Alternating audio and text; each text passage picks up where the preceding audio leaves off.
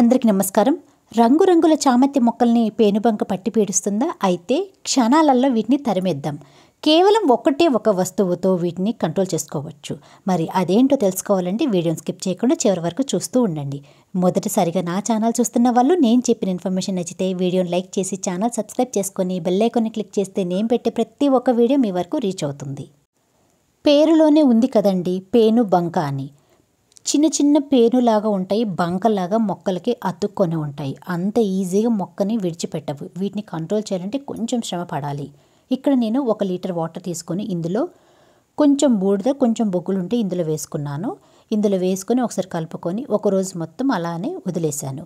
మాకు టైం లేదు మేము బిజీగా ఉండేవాళ్ళము అనుకునే వాళ్ళైతే ఇలానే వేసి ఒక గంట సేపైనా అలానే వదిలేసి ఆ తర్వాత మీరు ప్లెయిన్ వాటర్తో డైల్యూట్ చేసి ఫిల్టర్ చేసుకొని మొక్కలపైన స్ప్రే చేసుకోవచ్చు. కానీ ఒక రోజు మొత్తం అలానే ఉంచేయడం వల్ల ఈ బూడిదలో ఉన్న గుణాలన్నీ చక్కగా వాటర్లోకి దిగుతాయి కాబట్టి అది ఇంకా పవర్ఫుల్గా ఒక మంచి పెస్టిసైడ్గా మనం మొక్కలపైన స్ప్రే చేసినప్పుడు చక్కటి రిజల్ట్ అనేది చూపిస్తుంది. మరుసటి రోజు ఈ బూడిద కలిపిన నీళ్ళని మనము ప్లెయిన్ వాటర్తో డైల్యూట్ చేసుకొని మొక్కలపైన స్ప్రే చేయాలి. మరి ఎంత వాటర్ డైల్యూట్ చేయాలో చెప్తాను చూస్తూ ఉండండి. ఈ బూడిద కలిపిన వాటర్ని ఒక చిన్న బకెట్లో వేసుకోవాలి. పైన బొగ్గులను చక్కగా వచ్చాయి. కానీ బూడిద మాత్రం అడుగున అలానే ఉండిపోయింది కాబట్టి ఈ బూడిదని కూడా చక్కగా వాటర్లో మిక్స్ చేసుకొని ఈ బకెట్లో వేసుకోవాలి. ఆ తర్వాత ప్లెయిన్ వాటర్ ఒక లీటర్ వరకు ఇందులో వేసుకొని బాగా కలుపుకోవాలన్నమాట. అంటే ఒక లీటర్ బూడిద కలిపిన వాటర్కి మరొక లీటర్ ప్లెయిన్ వాటర్ని కలుపుకొని ఫిల్టర్ చేసుకొని ఆ తర్వాత మొక్కలపైన స్ప్రే చేసుకోవాలి. ఫిల్టర్ మాత్రం తప్పకుండా చేసుకోండి. ఎందుకంటే ఇక్కడ చిన్న చిన్న పార్టికల్స్ ఉంటాయి కాబట్టి అవి స్ప్రేయర్లో అడ్డుపడితే స్ప్రేయర్ పాడైపోతుంది కాబట్టి ఫిల్టర్ చేసుకోండి.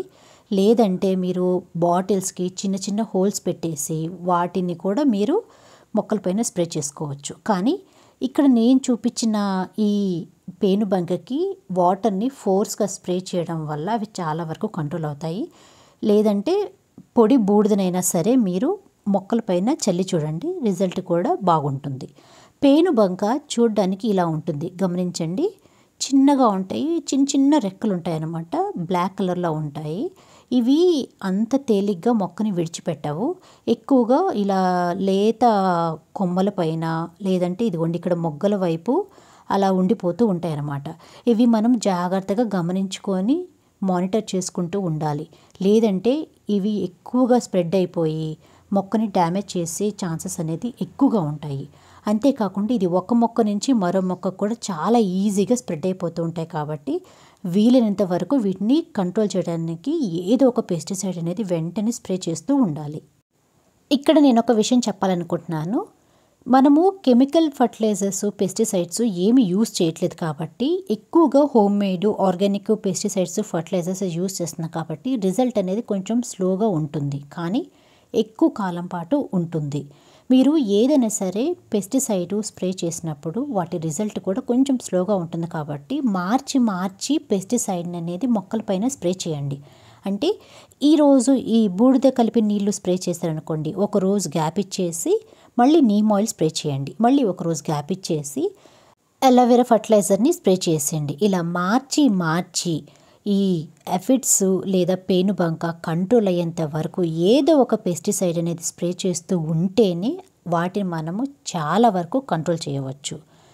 లేదంటే అది ఎక్కువగా పెరిగిపోయి మొక్కని డ్యామేజ్ చేస్తుంది కాబట్టి కొంచెం ప్రేమతో కొంచెం ఓపికతో వీటిపైన పెస్టిసైడ్స్ అనేది రెగ్యులర్గా స్ప్రే చేస్తూ ఉండండి.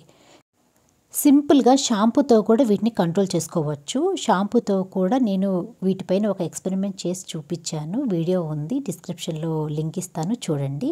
ఇలా ఫోర్స్గా వాటర్తో స్ప్రే చేసినప్పుడు ఆ పేను బంక్ అనేది మొక్క పైన నిలబడడానికి కొంచెం కష్టంగా ఉంటుంది కాబట్టి అది ఎగిరిపోతుంది.